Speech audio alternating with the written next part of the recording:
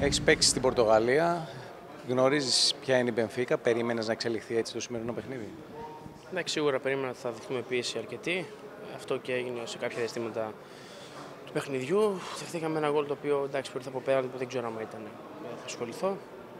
Ευτυχώς ε, καταφέρουμε να αντιδράσουμε, αυτό που είναι το σημαντικότερο, να σοφαρίσουμε, να φύγουμε με το αποτέλεσμα, ένα πολύ καλό αποτέλεσμα.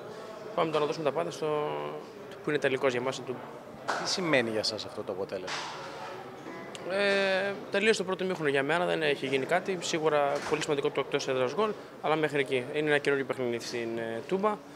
Θα έχουμε τον κόσμο μας, θα έχουμε τη στήριξη, θα έχουμε θετική ενέργεια ολόκληρου του κόσμου, θα γεμίσουμε το γήπεδο.